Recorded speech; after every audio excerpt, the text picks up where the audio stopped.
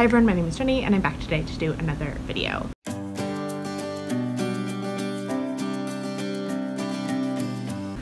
First off, I just want to apologize for the glare in my glasses. I get great natural light in from my room, but I think that also means that the glare, we will all just have to deal with it together. So I am here today to talk about my August wrap up. I was not planning on filming my August wrap up now. I was going to combine it with September because as I've said many times on my channel, I'm now officially in grad school. I just finished my first week of classes, which is really exciting. And I was not planning on doing this video, but I ended up reading 10 books in August because I had several weeks where I was doing absolutely nothing. And as someone who makes videos on YouTube about books is wont to do, I read a lot during that time. So I figured I would capture all of my thoughts on those books now and not have to like worry about them in the future. So as I said, I read 10 books. I'm not going to do my like usual stats that I often do at the beginning of these videos just because I didn't have the time or the motivation to pull up all of that stuff together. This is also going to be relatively casual. A lot of these books I read relatively quickly and was kind of preoccupied with other things on my mind and so I don't have a ton of like really deep meaningful things to say but I did want to just kind of share my overall thoughts on all of these books. So starting with the first book that I've read in the month and moving to my most recent read just because again I didn't have the motivation to put them in the order in terms of like star ranking. But the first book I finished during the month was Damnation Spring by Ash Davidson which I gave four stars to. I actually talked about this one quite a bit in my August reading vlog which I'll put a link to up in the cards above. But I enjoyed this one. I as I said give it four stars it's a historical fiction novel that follows a family over the course of a year in the 1970s in a small logging town in California. The husband slash like father of the family is involved in a logging company that works in the redwood forest around their community and the wife is kind of getting involved over the course of this year that this novel tracks with some political activism related to environmental protection surrounding the kind of protection of the redwoods because of some like health reasons. So there's some really interesting discussion here about like personal versus political and also kind of differing ideologies within a family. There's a lot of discussion about how a family's livelihood is potentially negatively impacting them, which I really enjoyed. At times, especially towards the end, this novel got a little like melodramatic to the point that I was not super pleased with it, and so that's in part why I didn't rate it as highly. I also thought at times it was a bit slow. It's almost close to 500 pages, and I don't think it needed to be that long, but I overall did enjoy it, and I think the kind of themes here are interesting, and I'm looking forward to seeing whatever Ash Davidson does next and I do have my book of the month copy here but, but this was also sent to me by Scribner uh, through NetGalley so thank you to Scribner for providing me with an early copy of this one and this one is available now and is also a book of the month book obviously. Then the next book I finished was The Charm Offensive by Alison Cochrun. This one actually comes out on the 7th of September from Atria Books so it will be coming out shortly after this video comes out and I enjoyed this one quite a bit as well and this is a romance novel that follows two men who are both involved in a kind of bachelor type show called Ever After. One of our like main characters is the leading person on this show and so he's kind of destined to find love with one of the 24 women that are on the show and then the other guy is a producer for the show and so he ends up being his um, like showrunner or kind of personal assistant to the main guy who's on the show and the two of them kind of have a like practice dating relationship that obviously turns into real love. I thought there were parts of this romance novel that were really funny, which I always appreciate in like romance novels. I also thought there were definitely heavy themes here and it kind of touched an emotional depth that I also often appreciate in romance novels. This one touches a lot on ideas of mental health and not recognizing when you are kind of deeply struggling with mental health, but it also touched pretty extensively on uh, discovering your identity and coming to terms with your sexuality and how that may be different than what you expected purely just because your life has not allowed for the opportunity for you to question your sexuality to come up. I thought their dynamic was pretty good. They weren't like my favorite romance couple that I've ever read from, but I did enjoy it. I also have seen some critiques about the like diversity rep here as one of the main characters is Indian American, but it didn't feel like he was super Indian American, particularly given that he kind of brushes off a lot of Indian culture by being like a second generation or even maybe third generation Indian American. And I know some own voices reviewers were kind of pushing back on that a little bit. So do kind of look into that if that's something that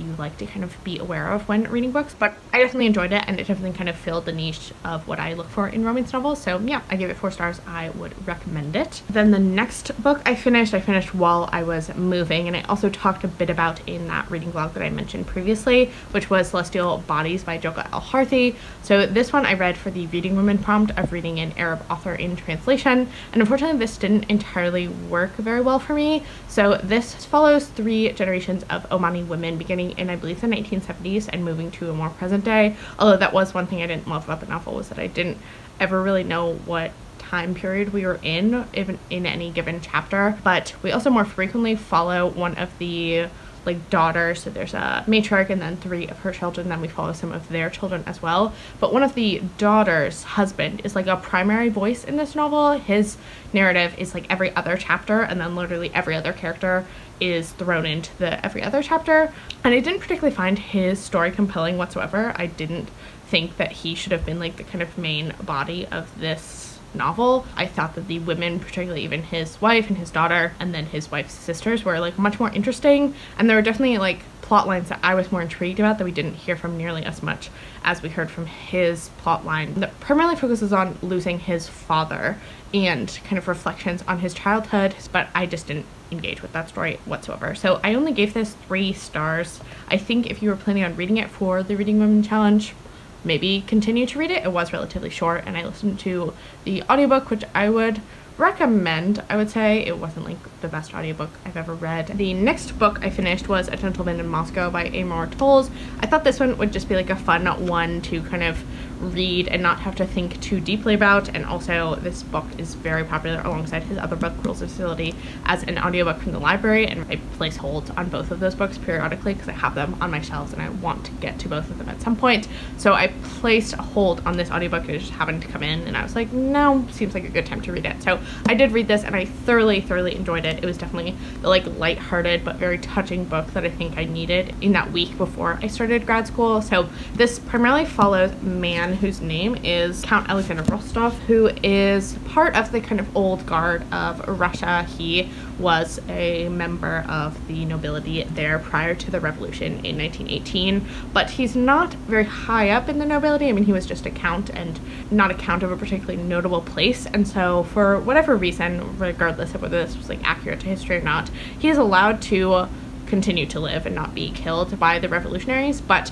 he is required to live his life under house arrest in this hotel in Moscow. So this story basically tracks his life living in the hotel and the people he comes across and the relationships he makes therein. And the relationships here are just so touching and I think also Amor Towles has a way of capturing kind of nuances of the human experience, particularly as it relates to nostalgia and thinking about times that have passed and you know will never come back in really, really beautiful ways that I just was constantly struck by.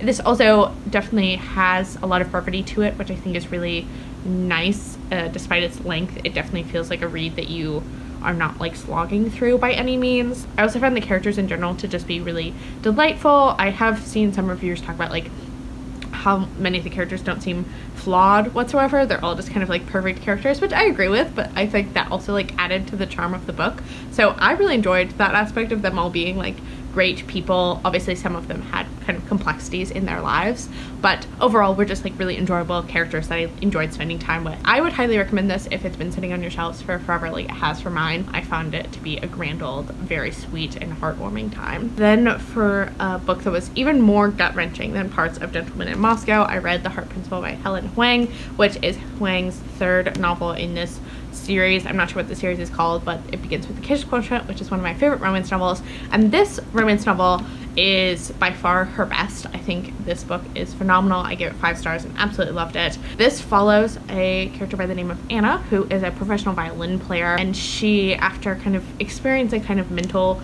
break, particularly in her musical abilities, she feels unable to kind of complete any musical pieces after she has this kind of breakthrough moment with a viral YouTube video. And so she has begun going to therapy in this time that she's kind of taking a break from her professional violin career. And I'm around that same time that she's really kind of digging into things in therapy. Her boyfriend at the time, who sucks, suggests that they open their relationship prior to him kind of committing, fully committing to her and the two of them getting married. And so our book opens with Anna kind of being forced into an open relationship that she doesn't want and deciding that to kind of get back at her boyfriend and to just see what else is out there. She goes for a one night stand with a character named Quan who does make an appearance in the previous two books. I didn't remember him at all, but apparently he's well beloved by like other readers of this series. But Quan and Anna kind of have a few attempts at a one night stand, but none of them really come to fruition for a variety of reasons on both of their parts. But also, about a third of the way through the book, we also learn that Anna's father has gotten very sick. And so the book then takes a turn into just a very intense and emotionally devastating discussion about caregiving, particularly caregiving to a parent, and particularly the guilt associated with caregiving to a parent who you believe to no longer want to receive that care. And so this book definitely touches on that very deeply. That's also a topic that's very personal to Helen Hoang as she experienced a very similar thing. There's also a lot of discussion here about sibling dynamics that come with the loss of a parent or that kind of end of life stage. So do be very cognizant of all of that if that's something that is kind of emotionally challenging or difficult for you to read about, as that is definitely like not shied away from at all in this novel. Uh, I just thought that all was so well done and just like absolutely emotionally gut wrenching. But I also do wish that their love story, like Quan and Anna's, had been a bit more about the kind of emotional support that Quan was able to give to her during that time, as their kind of romantic parts of the story during that like second half where Anna's caregiving to her father. Definitely they felt a little misplaced at times, which I didn't love. Helen Hoang's known for kind of having a very sexy approach to like traditionally published romance novels. And so sometimes there'd be this like very sexy scene between Anna and Quan, like almost immediately after Anna had like a big spat with her sister or with her mom or something. And so at times that just like didn't feel quite right. And I wish that the kind of more emotional side of their relationship had been explored more deeply in those sections. But it didn't bother me enough to not give this five stars. And I do highly recommend this if you think that the subject matter is something that you would be able to handle, as I was just so beautiful, cried many, many tears, would highly recommend. The next book that I finished in the month of August was also a Reading Women prompt book that I did not enjoy very much, which was Elsewhere Home by Leila Aboulela. This is a short story collection by Aboulela, who's one of the like bonus prompt authors for the Reading Women Challenge. And I didn't love these stories. I think that for me, short stories need to have some sort of emotional depth. I also love short fiction for its ability to like capture a very itinerant moment in time and the kind of temporality of short stories is something I really love. And these stories, while they did feel like a very temporary moment in time, did not have the kind of like significance imbued in that moment that I look for in short fiction and that I think is what makes short fiction shine. So the kind of crux of this collection is primarily about people that are elsewhere but thinking of home, as the title might suggest. So it's a lot of stories about people who have immigrated from primarily Sudan, as that is where Aboulela is also from, but also a few people from Egypt or other parts of the kind of Middle East that are either living in a different part of the Middle East or primarily just in the UK, but there might be one story that takes place in Europe. I don't entirely remember. But most of the stories are focused on these narratives of immigration and thinking about home and like homemaking in a place that is foreign to you. And I think the stories that worked best for me were the stories that really delved deep into that topic, particularly when reflecting on a person who has made a home elsewhere outside of their country of origin and has even kind of built a life there, potentially with someone who is not one Muslim or two, like from their own country, and kind of the difficulties there and the lack of kind of fully understanding one another. So those were probably my favorite stories, but overall it was just like a fine collection. I don't really remember any of the stories super well. I'm not entirely sure I would recommend it. Then another book that was like just okay for me was The Removed by Brandon Hobson. This one I listened to the audio of as well. I was very big into the audiobooks, particularly like listening to the audiobook and reading along I found to be really nice this past month and so a lot of these I consumed both like reading the book but also listening to audio and this book was no exception to that so this is a contemporary fiction novel I guess about a family looking back kind of on their son slash brother's death um, that happened about 15 years prior to most of when this novel takes place. And so we're kind of following three of the main family members, Ray Ray's, who is the child that was killed when he was 16 years old, mom, and then his sister and his younger brother. I believe his sister is an older sister, but honestly, that was never entirely made clear to me. But we are following these three characters as they kind of prepare for the 15th celebration of Ray Ray's death together and also kind of look into the ways that they are responding to that grief and kind of moving on from that grief in both healthy and unhealthy ways. This book also touches a lot on Ray Ray's father, whose name I don't remember, but he has Alzheimer's and so the sections, particularly with Ray Ray's mom, touch a lot on his Alzheimer's and kind of dealing with that diagnosis and kind of what that means for their family at large. There is also a thread in also Ray Ray's mom section about a foster son who joins their family for just a couple of days and the kind of impact that that foster son has on the father with Alzheimer's and Ray Ray's mom. And there's also just kind of some other explorations of like Cherokee mythology. Brandon Hobson, I don't think I mentioned this, is a member of the Cherokee, the Oklahoma band of the Cherokee Nation. And the characters in this book are also members of the Oklahoma band of the Cherokee Nation. And so there's a lot of discussion about Cherokee mythology and particularly the Trail of Tears and mythologizing around the Trail of Tears is something that's also very prominent in this book, which I found really interesting at times. I wish that I had a better grasp of what Cherokee mythology is, you know, the kind of primary themes of Cherokee mythology, as I think this novel would have been made even more meaningful for me if that had been the case. But I did still enjoy it for the most part. I mean, it was a pretty quick read. Again, not super memorable, but while I was reading it, I was having a pretty good time. So yeah, I gave this one three stars as well. Would recommend it if the subject matter seems interesting to you.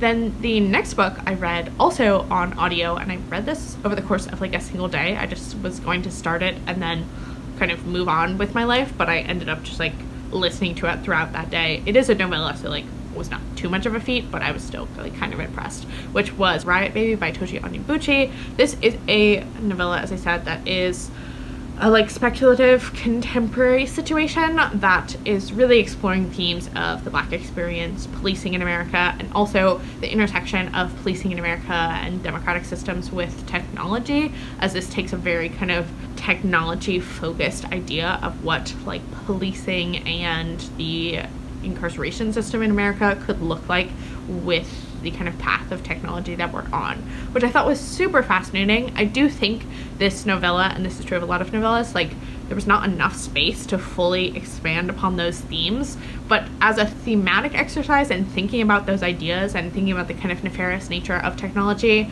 I found super uh, fascinating and definitely would be like interested in kind of even reading some like nonfiction critical essays from on Onyebuchi as I think that he obviously is someone who thinks a lot in, in very interesting ways about these topics. I will say the novella, in terms of like a plot, was a bit confusing. There were elements of like a kind of telekinesis power that one of the two siblings that we primarily follow in this novel has that was not really explained very well and there was also a lot of time jumps because of it which was also kind of confusing but the other sibling who is imprisoned in the incarceration system and deals with a lot of this kind of increase in technology and the use of technology, particularly like surveillance technology in the prison system. That plotline I thought was a lot more interesting, obviously because those are the themes that I like was more intrigued about. So yeah, I would recommend it. I give it four stars. Thought it was a really solid novella. I definitely want to read more of Onyebuchi's work. So then the last physical book that I have finished so far this month, it is the 28th, but I'm not going to finish anything more